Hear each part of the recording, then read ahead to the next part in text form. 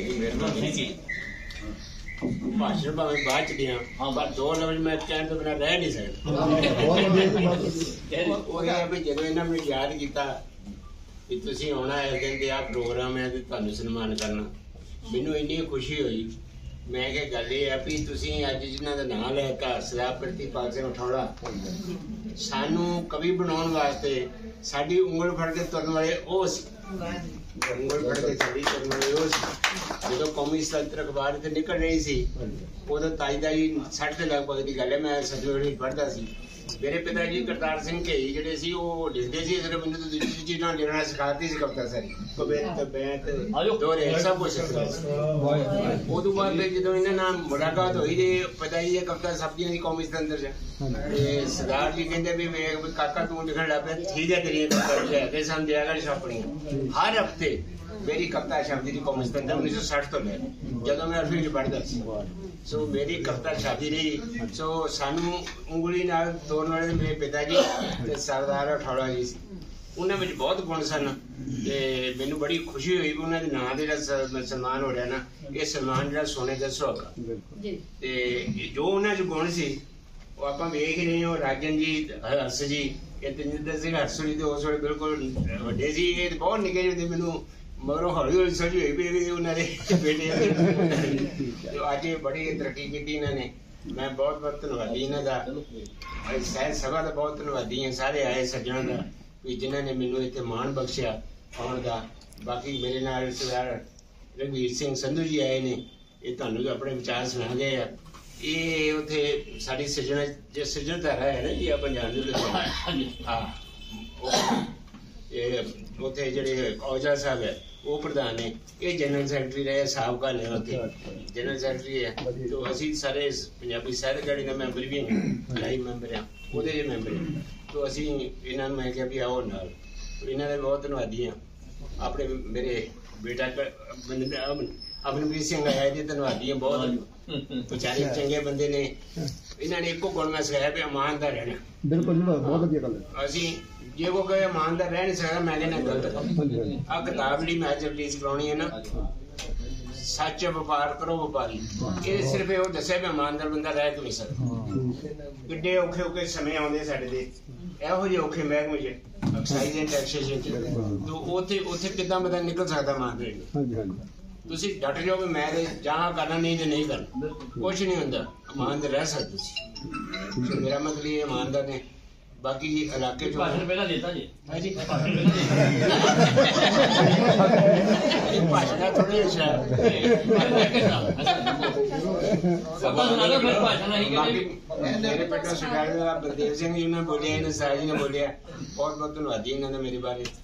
ਸਰਦਾਰ ਨਛੱਤਰ ਸਿੰਘ ਹੁਣੀ ਆਏ ਨੇ।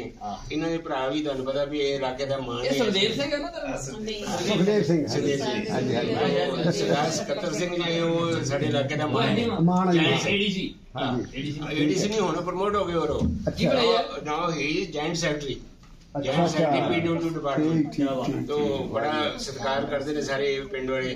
ਤੇ ਮੈਂ ਇਹਨਾਂ ਦਾ ਵੀ ਬਹੁਤ ਧੰਨਵਾਦੀ ਹਾਂ ਸਾਰੇ ਬਦਲਵੀਰ ਸਿੰਘ ਹੁਣੀ ਆਏ ਨੇ ਹੋਰ ਸਾਹਿਬ ਦਾ ਬਹੁਤ ਬਹੁਤ ਧੰਨਵਾਦੀ ਹਾਂ। ਕਵਿਤਾ ਹੁਣ ਸੁਣ ਲਈ ਦੇ ਸੋ ਕਵਿਤਾ ਮੈਂ ਦੱਸਣ ਦਾ ਮਤਲਬ ਇਹ ਨਾਲ ਇਹ ਤਾਂ ਨਹੀਂ ਆਪਣੇ ਤੁਹਾਡੇ ਉਹ ਬਜ਼ੁਰਗ ਦੇ ਕਰਤਾਰ ਸਿੰਘ ਢੀਂਗੀ ਹਾਂਜੀ। ਉਹ ਗਏ ਨਾ ਉਹ ਜੋ ਕਿੱਸਾ ਲਿਖਦੇ ਦੇ ਕਿੱਸਾ ਹਾਂਜੀ। ਕਾਵ ਕਿੱਸਾ ਕਾਵ ਲਿਖਦੇ ਉਹਨਾਂ ਨੇ ਕਿੱਸਾ ਹਾਂ। ਲਿਖਿਆ ਉਹਨਾਂ ਨੇ ਕਿੱਸਾ ਕਾਵੀ ਕਵੀ ਸੀ ਉਹ। ਉਹਨਾਂ ਕਿਸੇ ਲਿਖੇ ਪਾਉਂਦੇ ਪਰ ਇਹ ਵੀ ਇਹ ਛੁਪਾਇਆ ਮੈਂ ਹੀ ਛੁਪਾਇਆ ਉਦੋਂ 'ਚ ਸ਼ਬਦ ਨੇ ਤੁਹਾਡੇ। ਤੇ ਬਾਕੀ ਕਿੱਸਾ ਉਹਨਾਂ ਦਾ ਇੱਕ ਬੀਬੀ ਰਜੀਨ ਦਾ ਇਤਿਹਾਸ ਉਹ ਸਰਦਾਰ ਅਠੌੜਾ ਸਾਹਿਬ ਨੇ ਛੁਪਾਇਆ ਸੀ। ਔਰ ਮੈਨੂੰ ਮਾਣ ਹੈ ਇਸ ਗੱਲ ਦਾ ਵੀ ਅੱਜ ਉਸ ਸੰਸਥਾ ਸਨਮਾਨ ਮੈਨੂੰ ਕਰ ਰਹੀ ਹੈ ਜਿੱਥੇ ਮੇਰੇ ਪਿਤਾ ਜੀ ਦਾ ਸਨਮਾਨ 1992 ਚ ਹੋਇਆ ਸੀ। ਕੀ ਬਾਤ ਹੈ 1992 ਵਿੱਚ ਇੱਥੇ ਸਨਮਾਨ ਕੀਤਾ ਗਿਆ ਸੀ। ਉਹਨਾਂ ਦਾ ਉਹਨੇ ਉਸੇ ਕਿਸੇ ਤੋਂ ਹੀ ਉਹ ਕਿੱਸਾ ਅਜੇ ਵੀ ਮੇਰੇ ਕੋਲ ਪਿਆ ਪਰ ਹਾਲਤ ਬੜੀ ਮਾੜੀ ਸੀ। ਵਰਗੇ ਭੁਰ ਗਏ ਨੇ ਇਸ ਮੈਂ ਲੈ ਕੇ ਨਹੀਂ ਆਇਆ ਹੈਗੇ। ਮੈਨੂੰ ਲਓ ਜੀ। ਪਹਿਲਾਂ ਦੇ ਮੇਰੇ ਖਿਆਲ 2000 ਕਵਿਤਾ ਸੁਣਾਇਆ ਥੋੜੇ ਦੋ ਦੋ ਲਾਈਨਾਂ ਤਾਂ ਪਤਾ ਲੱਗ ਜੇ ਵੀ ਆਪ ਵਿਚਾਰ ਰਹੇ। ਪਹਿਲਾਂ ਦੇ ਮੈਨੂੰ ਲੇਖਾਂ ਦੇ ਉੱਤੇ ਬਹੁਤ ਜ਼ਿਆਦਾ ਆਸ ਬਹੁਤ ਹੈ। ਬਹੁਤ ਇਹਨਾਂ ਦੀ ਉਮੀਦ ਹੈ ਵੀ ਇਹ ਸਮਾਜ ਨੂੰ ਸੁਧਾਰ ਸਕਦੇ। ਸੋ ਪਹਿਲਾਂ ਦੇ ਇੱਕ ਉਠੋ ਕਲਮੋ। ਜੀ। ਉਠੋ ਕਲਮੋ। ਉਹਦੀਆਂ ਦੋ ਲਾਈਨਾਂ। ਜਿਹੜਾ ਅੱਜ ਕੱਲ੍ਹ ਬੰਦੇ ਤੋਂ ਬੰਦਾ ਦੂਰ ਹੋ ਰਿਹਾ ਉਹਨਾਂ ਨੂੰ ਠੀਕ ਕਿਵੇਂ ਕਰਨਾ? ਲੇਖਕਾਂ ਨੂੰ ਇਹ ਕਿਵੇਂ ਮਨਜ਼ੂਰ ਹੋਈ ਜਾ ਰਿਹਾ? ਹੂੰ ਦੇਖ ਕੌਣ ਲੇਖਕਾਂ ਨੂੰ ਇਹ ਕਿਵੇਂ ਮਨਜ਼ੂਰ ਹੋਈ ਜਾ ਰਿਹਾ? ਆਦਮੀ ਤੋਂ ਆਦਮੀ ਜੋ ਦੂਰ ਹੋਈ ਜਾ ਰਹੀ। ਇਹ ਕਾਨੂੰ ਇਹ ਕਿਵੇਂ ਮਨਜ਼ੂਰ ਹੋਈ ਜਾ ਰਿਹਾ? ਆਦਮੀ ਤੋਂ ਆਦਮੀ ਜੋ ਦੂਰ ਹੋਈ ਜਾ ਰਿਹਾ। ਜਿਸ ਤਰ੍ਹਾਂ ਆਹ ਲਾਈਨ ਨੂੰ ਆ ਵੀ ਬੜੀ ਪਿਆਰੀ ਲੱਗਦੀ ਆ। ਜਿਸ ਤਰ੍ਹਾਂ ਨਾ ਸੋਚਿਆ ਕਿ ਹੋ ਜਾਏਗਾ ਇਸ ਤਰ੍ਹਾਂ। ਵਾਹ ਜਿਸ ਤਰ੍ਹਾਂ ਜਿਸ ਤਰ੍ਹਾਂ ਨਾ ਜਿਸ ਤਰ੍ਹਾਂ ਨਾ ਸੋਚਿਆ ਕਿ ਹੋ ਜਾਏਗਾ ਇਸ ਤਰ੍ਹਾਂ ਉਸ ਤਰ੍ਹਾਂ ਦਾ ਕਿਸ ਤਰ੍ਹਾਂ ਦਸਤੂਰ ਹੋਈ ਜਾ ਰਿਹਾ? ਉਸ ਤਰ੍ਹਾਂ ਦਾ ਕਿਸ ਤਰ੍ਹਾਂ ਦਸਤੂਰ ਹੋਈ ਜਾ ਰਿਹਾ।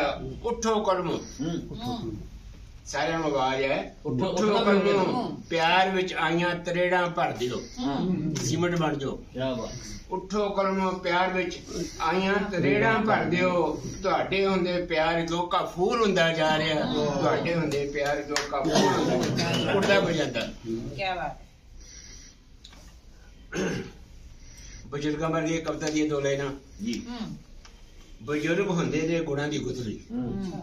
ਬਜ਼ੁਰਗ ਹੁੰਦੇ ਨੇ ਗੁਣਾਂ ਦੀ- ਗੁਥਲੀ ਗੁਣ ਉਹਨਾਂ ਤੋਂ ਹਾਸਲ ਕਰੀਏ। ਅੱਬਲ ਤਾਂ ਉਹ ਬੋਲਣ ਨਾ ਮਾੜਾ ਜੇ ਬੋਲਣ ਤਾਂ ਹੱਸ ਕੇ ਜਰੀਏ। ਜੇ ਬੋਲਣ ਤਾਂ ਹੱਸ ਕੇ ਜਰੀਏ ਅਸ਼ੀਰਵਾਦਾਂ ਦੇ ਸਾਨੂੰ। ਹਾਲਾਂਕਿ ਮੈਂ ਵੀ ਬਜ਼ੁਰਗ ਹੋ ਗਿਆ। ਅਸ਼ੀਰਵਾਦਾਂ ਦੇ ਸਾਨੂੰ ਸਾਡੇ ਕੰਮ ਸਵਾਰਦੇ ਰਹਿੰਦੇ।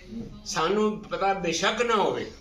ਸਾਨੂੰ ਪਤਾ ਬੇਸ਼ੱਕ ਨਾ ਹੋਵੇ ਸੁੱਖਾਂ ਮੰਗਦੇ ਉੱਠਦੇ ਬਾਤ ਸੁੱਖਾਂ ਮੰਗਦੇ ਉੱਠਦੇ ਸੋ ਬਜ਼ੁਰਗਾਂ ਦਾ ਸਤਿਕਾਰ ਕਰਨਾ ਬਣਦਾ।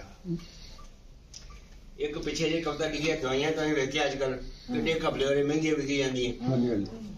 ਸੋ ਉਹਦੇ 'ਚ ਮੈਂ ਲੋਕਾਂ ਨੂੰ ਸਲਾਹ ਦੀ ਬਿਮਾਰ ਨਾ ਹੋਇਓ ਬਈ ਹਾਂ। ਇਹ ਰਘੁਵੀਰ ਸਿੰਘ ਜੀ ਸਾਡੇ ਸੰਤ ਸਾਹਿਬ ਯੋਗਾ ਵੀ ਕਰਾਉਂਦੇ ਉੱਥੇ। ਅੱਛਾ ਜੀ। ਯੋਗਾ ਗੁਰੂ ਨੇ ਉੱਥੇ ਬਹੁਤ ਵਧੀਆ ਬਹੁਤ ਇਹ ਸਰ ਕੇ ਦਾਦੇ ਸੇ ਸੋ ਸਾਨੂੰ ਵੀ ਕਰੀ ਕਰਾ ਦਿੰਦੇ ਯੋਗਾ। ਠੀਕ ਹੈ। ਤੋ ਕਹਿੰਦੇ ਵੀ ਬਿਮਾਰ ਨਾ ਹੋਏ ਜਿਹੜੀ ਦਵਾਈ ਤੇ ਖਰਚਾ ਆਵੇ ਜੀ ਜਿਹੜੀ ਦਵਾਈ ਤੇ ਖਰਚਾ ਆਵੇ ਮਸਾ ਰੁਪਏ 8 ਮਸਾ ਰੁਪਏ 8 ਕੀਮਤ ਵੇਚਣ ਲਈ ਰੱਖ ਦਿੰਦੇ ਉਸ ਦੀ 260 ਹਾਂ ਬਿਲਕੁਲ ਬਿਲਕੁਲ ਬਿਲਕੁਲ ਹੈ ਜੀ। 8 ਰੁਪਏ ਖਰਚੇ ਲਈ ਐਮ ਆਰ ਪੀ ਜਿਹਨੂੰ ਕਹਿੰਦੇ ਆ 260 ਰੁਪਏ। ਬਿਲਕੁਲ ਤੁਸੀਂ ਦੇਖਿਆ ਤੇ ਬਿਲਕੁਲ ਇਦਾਂ ਹੀ।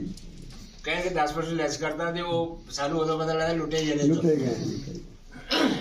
ਲਾਲਾ ਮੀਆਂ ਦੇ ਸਰਦਾਰ ਲਾਲਾ ਮੀਆਂ ਤੇ ਸਰਦਾਰ।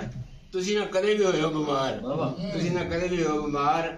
ਮਹਿੰਗੀ ਦਵਾਈ ਦੀ ਪੈਜੂ ਮਾਰ ਹੋਸ਼ ਨਾ ਆਵੇਗਾ ਗਹਿਣਾ ਗੱਟਾ ਭਾਂਡਾ ਟਿੱਡਾ ਸਭ ਲੁੱਟ ਜਾਏਗਾ ਬਿਲਕੁਲ ਬਹੁਤ ਠੀਕ ਹੈ ਜੀ? ਬਹੁਤ ਸੋ ਵਧੀਆ। ਇਹ ਗੁਣ ਲੈਣੇ ਪੜਦੀਆਂ ਇੰਨੇ ਕਿਤਾ ਬਾਕੀ ਸੁਲਤਾਨ ਬਹੁਤ ਬਹੁਤ ਵਧੀਆ ਜੀ, ਬਹੁਤ ਵਧੀਆ। ਵਧੀਆ। ਮੈਂ ਕਹਿੰਦਾ ਸਾਰਾ ਖਜ਼ਾਨਾ ਵੀ ਨਾ ਖਾਲੀ ਕਰ ਦੋ ਸਾਰੇ ਤਾਂ ਮੈਂ ਅਖੀਰ ਦੇ ਵਿੱਚ ਅਖੀਰ ਨਹੀਂਗਾ ਕਿਉਂਕਿ ਅਹ, ਸਾਡੀ ਕੇਂਦਰੀ ਪੰਜਾਬੀ ਦੇ